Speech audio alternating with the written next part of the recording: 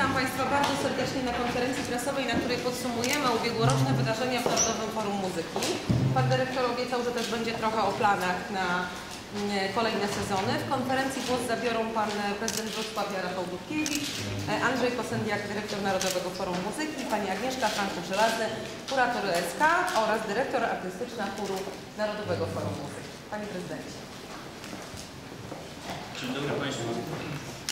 Właściwie tylko gospodarzem jestem tego spotkania oraz w sensie instytucjonalnym jednym z trzech strojga współ, współprowadzących instytucje, no tak, za, zapisaliśmy właśnie instytucję, jak to, jak to jest, instytucję, którą jest Narodowe Forum, Forum Muzyki. No. Jak Państwo pamiętają, to jest pomysł, który ma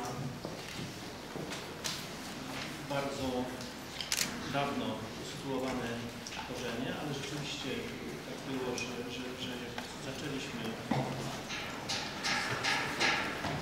jak zaczęliśmy rozmyślać o Europejskiej Stolicy, Stolicy Kultury, to postanowiliśmy, że koniecznie musi. Na marginesie teraz w trakcie, w trakcie obrad Sejmowej i Senackiej Komisji Kultury w Wrocławiu Boguś Sonik, Bogusław Sonik pracował nad krakowską Europejską Stolicą Kultury i on przypomniał, że nasze pierwsze rozmowy dotyczące tego, jak, jak, jak się przygotowywać, to jest rok 2000, 2000 przełom 2003 i 2004 roku. Zaczynam takiej historii, żeby powiedzieć o następującej, następującej kwestii, bo projekt dotyczący Narodowego Forum Muzyki, to już wielokrotnie o tym opowiadaliśmy, ale projekt składał się z wielu części, z których trzy są najważniejsze. Mianowicie podniesienie poziomu, poszerzenie spektrum działalności artystycznej, tak? Mówimy o mówimy o orkiestrach, przepraszam, orkiestrach związanych z narodową muzyką, mówimy o znakomitym, znakomitym, znakomitych chórach związanych z Narodowym Forum Muzyki i to jest zupełnie no, nowa, nowa jakość, tak, jeśli chodzi o, o, o zestaw, zestaw i, poziom, jaki charakteryzuje nasze zespoły. Po drugie mówimy o wymyślonym bardzo dawna mm, systemie, patrzę na edukacji muzycznej we Wrocławiu, obejmujących zarówno wprost działalność Narodowego Forum Muzyki, jak i po prostu edukację, edukację szkolną. No i po trzecie mówimy wreszcie o przestrzeni, która powstała, powstała na Placu Wolności. Czyli chodzi o to, żeby, żeby byli słuchacze, chodzi o to, żeby byli wykonawcy na najwyższym poziomie i chodzi o to, żeby była przestrzeń, która zapewni tym grupom jak największy, jak największy komfort funkcjonowania. I okazuje się, że, że, że to zadziałało. Tak, że, że tego rodzaju trójstronne, trójstronne myślenie przyniosło, przyniosło efekt. Przenieśliśmy się z sali, ile miała sprawdzić, tam mają miejsc? 465. Nie miała 500 miejsc, to poniżej 500. Tak, jesteśmy teraz w sali, która maksymalnie może pomieścić 1800 osób, plus mamy kilka dodatkowych sal i okazuje się, że szczęśliwie bilety się znakomicie sprzedają, a publiczność doświadcza radości, słuchając no przecież niebanalnych, niebanalnych, niebanalnych kompozytorów. To za to chciałem podziękować osobom, które mi towarzyszą, powiedzieć, że to jest absolutnie wielka, wielka radość. No i teraz Andrzej opowie trochę tak, o, o tym, jak to wygląda repertuarowo oraz liczbowo. Tak bardzo dziękuję. Ja, ja zanim, zanim podam kilka e, informacji dotyczących tego, co już się wydarzyło i co się wydarzy na Narodowym Muzyki, e, chciałem powiedzieć, że to bardzo szeroki program e, e, nie zdarzyłby się, gdyby nie spotkały się odpowiednie osoby że chciałbym podkreślić, że, e, że e, nic samo się nie robi, tak? Ja spotykam się z wyrazami jakiegoś takiego, z jakiejś życzliwości, nie do tego nie wiem, przyzwyczajony, nie, nie, nie rozpieszcza pod tym względem i bardzo, bardzo się cieszę, troszkę się boję, że to łatwo którego się można przyzwyczaić, ale chcę bardzo, bardzo powiedzieć, że bez takiego prezydenta, jaki, jaki, jaki, jaki mieliśmy. Tak się mówiliśmy przed, że to jest Nie, taki trochę. no, ale muszę to powiedzieć naprawdę, bo, bo to się nie zdarza. Rozmawiałem wczoraj z pracownikiem województwa małopolskiego, z, wice, z, wice, z wicemarszałkiem. Tak? Chcą budować salę. Mówię, słuchajcie, myśmy to zrobili tak, że zdarzyło się tak kiedyś, że ten prezydent, który od początku w planach miał wybudowany ten no, spotkał się z marszałkiem, który rozumiał tą ideę, spotkał się w dodatku z ministrem, z którym można było się dogadać, do tego, aby, aby coś takiego uruchomić. E, Ja, uważam, że e, to potwierdza, że, Że że zgoda buduje, to daruje. Chciałem podziękować również wszystkim moim współpracownikom, bo, bo, bo dzięki nim to wszystko się e, odbywa, dzieje. E, Artystom, którzy wspaniale e, występują, ale również menadżerom, również e, tym, którzy sprawiają, że, że jest publiczność i tym, którzy e, zdobywają pieniądze na to, żebyśmy mogli. Teraz, teraz może troszkę statystyk.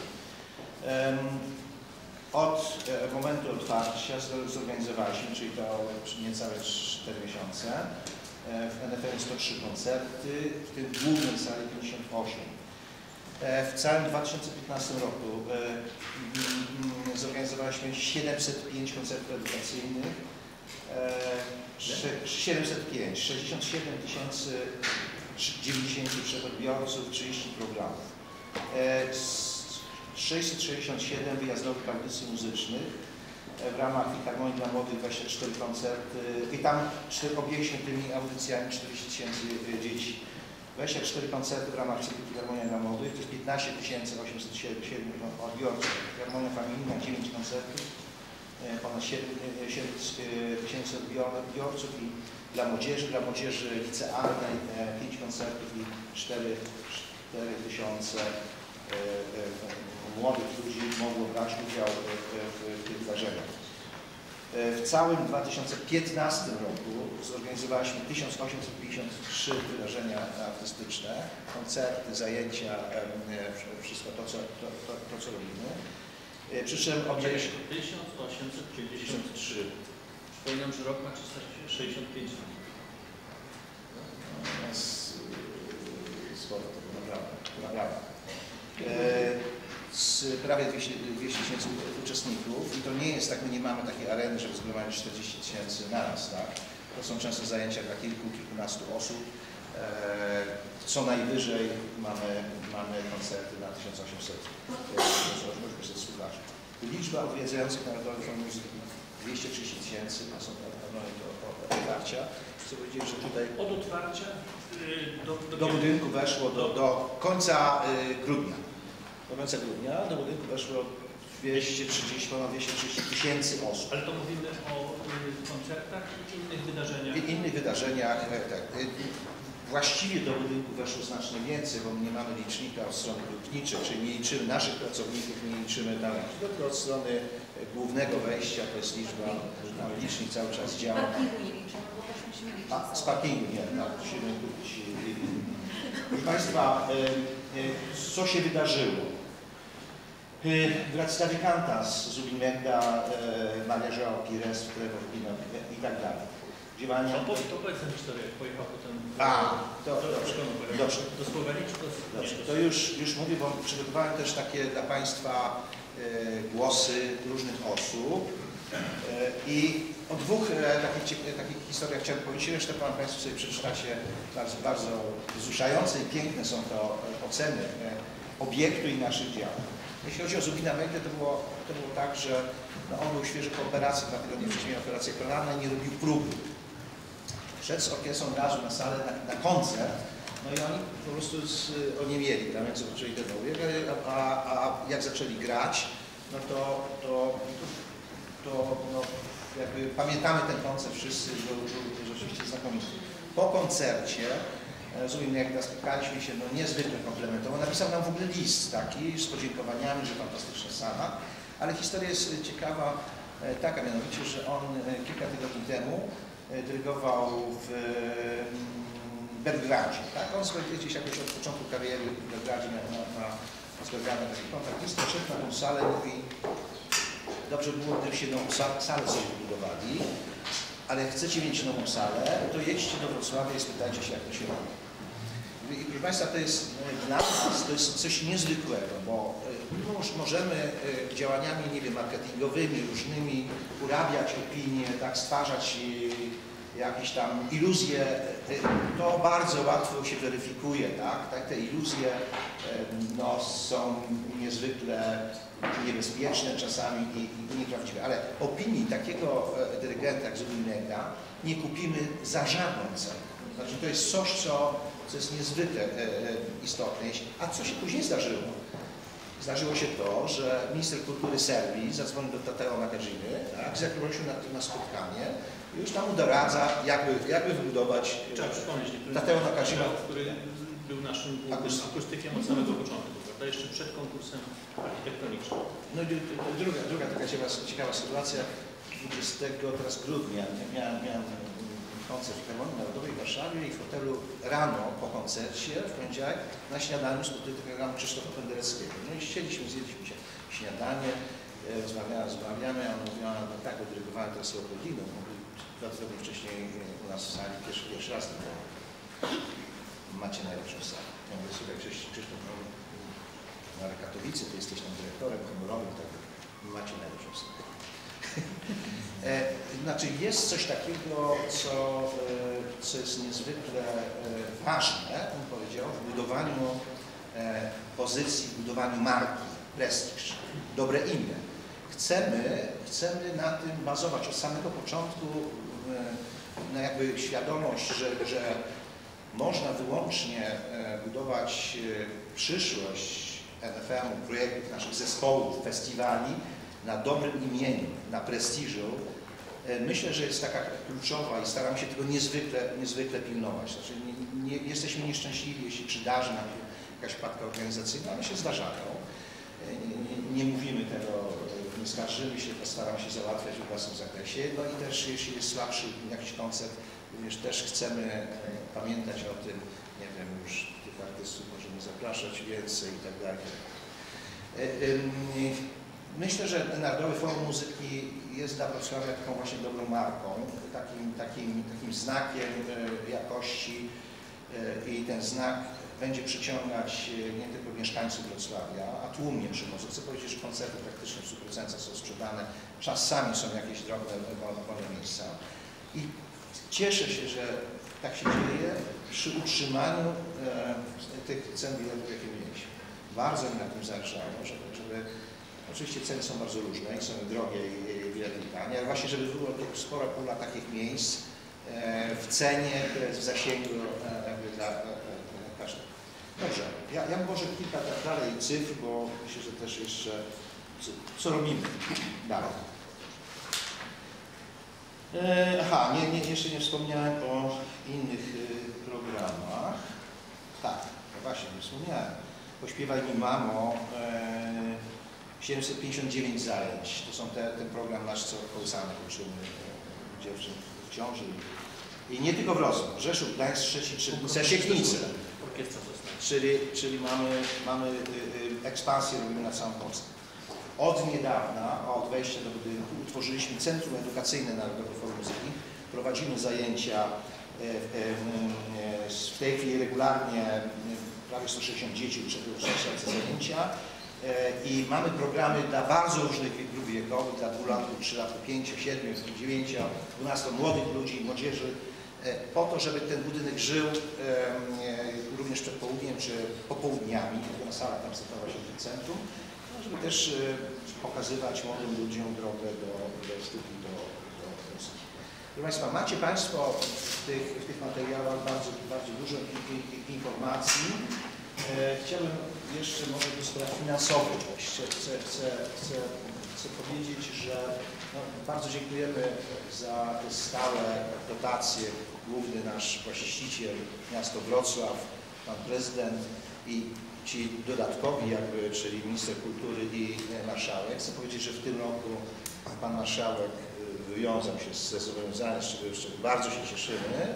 Chcę powiedzieć, że pan minister, e, czy minister również, tak, mamy pełnym szczęścia, jeśli chodzi o czyli te dotacje, które zaplanowaliśmy, na tym poziomie są realizowane. Chodzi o to, że się umawialiśmy, że, że w momencie, kiedy się będziemy zbliżać do otwarcia, budżet instytucji, która jest wielokrotnie większa, zarówno personalnie, jak i przestrzennie, musi być nieco, nieco wyższy. A szczęśliwie stał się jeszcze wyższy, bo, bo zaczęła zarabiać też jeszcze, jeszcze lepiej.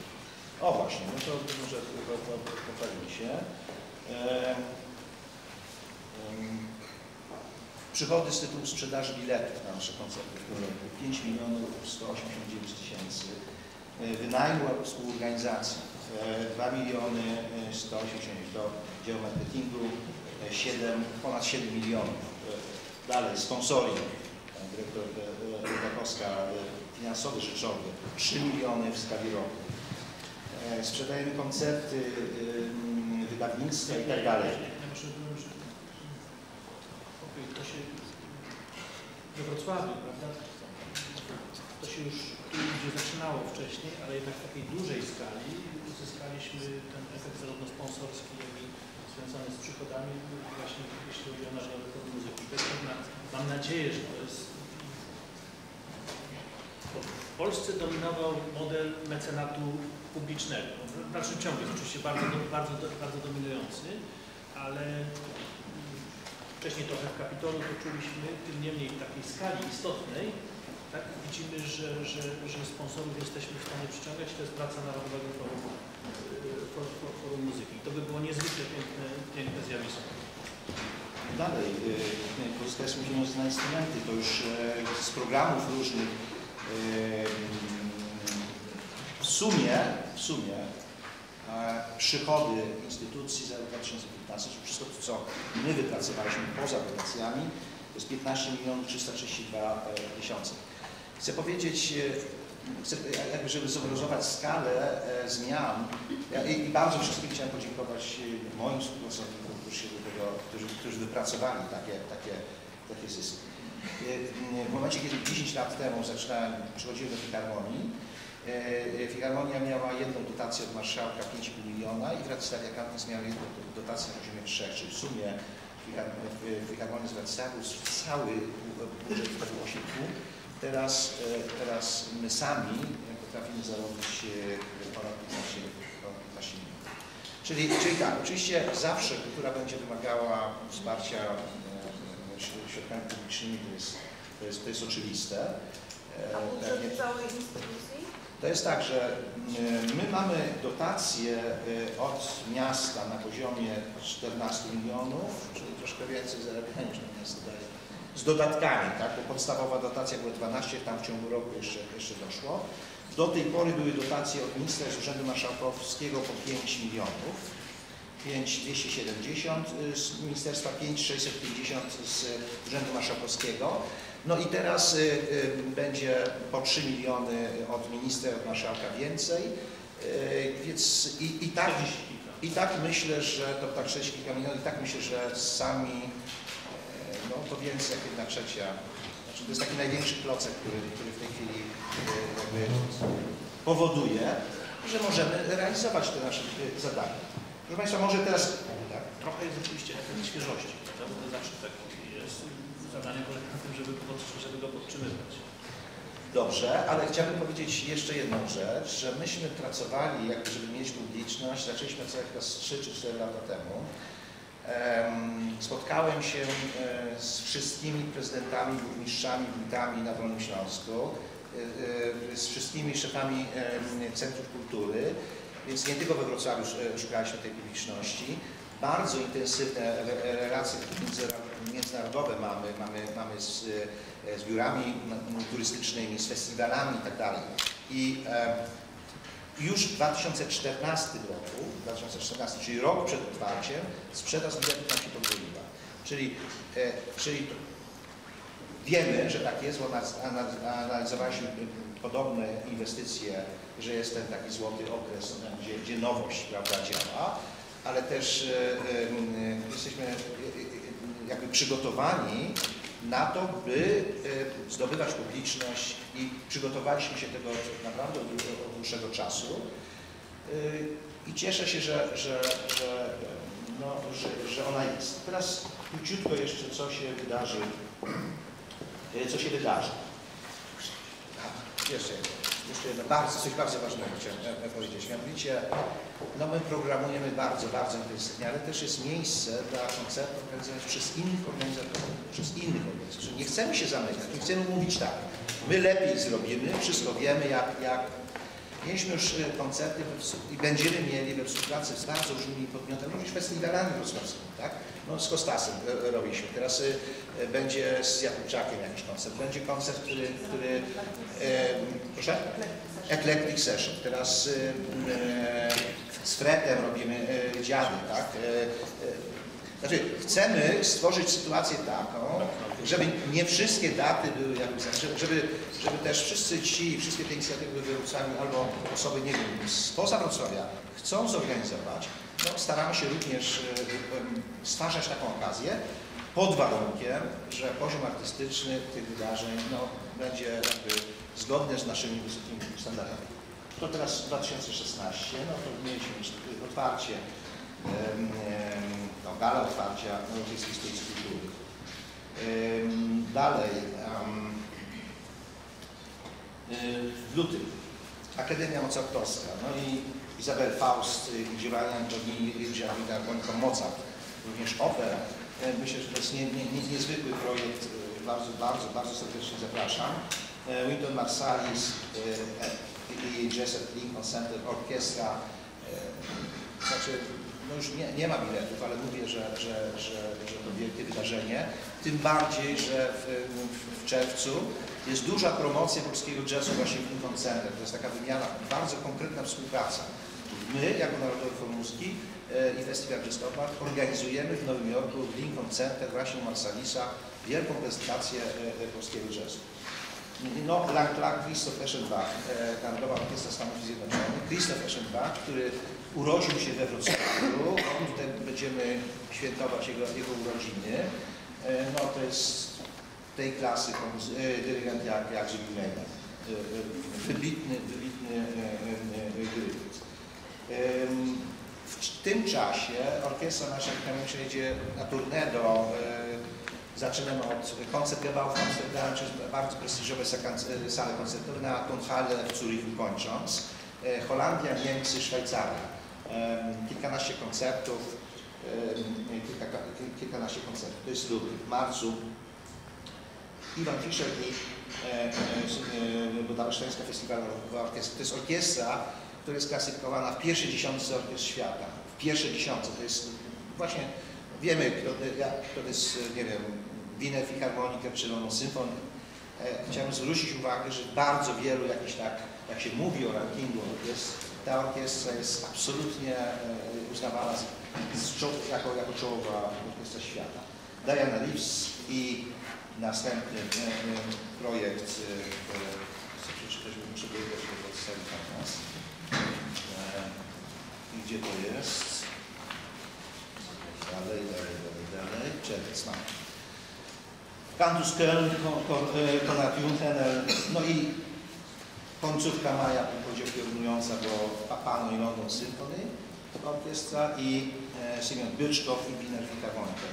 W czerwcu Paul McLeish, później Mariusz Kwiecień e, z Eskinka Sprzeciw, później Roberto Alania, e, a, a, nie, Anna, nie Anna, tylko Aleksandra błąd.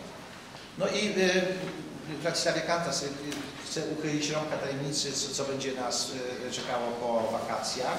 W marcu na stronie internetowej pokażemy pełny program, będzie można kupować bilety na cały sezon 16-17, już w marcu. No więc tak, Sir John Eliot Gardiner znowu i Monteverdi Choir, English Bar, Park Solis, najcięższa, e, e, przepraszam, e, pasja świętego Mateusza e, Bacha. No myślę, że będzie to coś, coś wyjątkowego. George Savary, no chyba też nie muszę rekomendować. Huelgas Ensemble, Kamera Orkiester Basel i e, po raz pierwszy Andrzej Bo- Borejko, Andrzej Borejko z naszą filharmonią. E, chcemy nawiązać blis, bliską współpracę z tym, z tym dyrygentem. E, będzie otwierać e, tegoroczny festi- festiwal. Później Tokyo Symphony Orchestra, później Topaz z Jasonem Moranem, Wayne Shorterem, Filma Sakala i, i wielu innych e, e, jazzmenów. E, Ciekawy będzie koncert sylwestrowy, będzie wybitny polski młody pianista Jan Lisiecki, to bardziej sylwester będzie na niezwykłym, niezwykłym e, poziomie. Proszę Państwa, zapraszamy wielu gości, też w ramach Euro- Europejskiej Stolicy też projektów, które organizujemy. E, Najpierw w Brukseli rezydencja, chór e, Agnieszka, aha, koncert z Festiwalu Orkiestry Budapesztu, o którym mówiłem, że to jest jedna z dziesięciu e, z udziałem, z, z udziałem e, naszego i Agnieszki. E, Wyjazdy e, e, Orkiestry Barokowej e, Leopoldinu, wcześniej Filharmonii. No i kilka bardzo ważnych konferencji. Konferencja e, EFE, European Festival Organization, e, to jest e, organizacja najważniejszych festiwali europejskich, na których zaprosiliśmy szefów e, najważniejszych festiwali muzycznych z Azji i z- i z Afryki. Więc we Wrocławiu w kwietniu spotykamy się, że około 200 dyrektorów najważniejszych festiwali. Może dla nas egzotycznie e, ta Azja brzmi, ale warto kiedyś choć raz pojechać i zobaczyć, jak, jak ten daleki wschód wygląda i gdzie no, chociażby pieniądze są, tak? Dalej, mamy e, Światowy Dzień Jazzu, który u nas będzie. To jest też e, kooperacja z, z festiwalem Jazz Narodowy. E, Światowa e, Międzynarodowa Trybuna Kompozytorów, Europejskie Forum Muzyki, konferencja e, Europejska Konferencja Jazzowa, więc muszę powiedzieć, że w tym roku spodziewamy się, że przyja- przyjadą do nas szefowie no, powiedziałbym najważniejszych przedsięwzięć muzycznych na świecie. Myślę, że, że też, że zrobimy takie spotkanie, nie wiem, za rok. Chciałbym e, e, śledzić e, wypowiedzi tychże niezwykle prominentnych i artystów, i, i, i szefów, dyrektorów, menadżerów. Jestem pewien, że, jestem pewien, że, że ten prestiż, który zabiegamy, markę dla Wrocławia, tak? Narodowy Muzeum, markę, dla Wrocławia, no, że, że, że, że jeszcze przed nami wciąż wielka przyszłość. To, to, to tyle. Dziękuję wszystkim moim współpracownikom, pan, pan, pan prezydentowi. Mogę na niego liczyć, a może mam nadzieję, że też to może, może na mnie liczyć od wielu lat. I, i, i chyba, i chyba zaśpiewa- Agnieszka musi rozdać im te instrumenty i No nie wiem. Ucieknie teraz, nie wiem, Czyli jest dobrze. Proszę Państwa, pięknie dziękuję. Teraz jest czas na pytania już indywidualne, bo wiem, że to na tym Państwu przede wszystkim zależy, więc bardzo proszę. Wszyscy są do Państwa dyspozycji. To jest ten czas dla Państwa.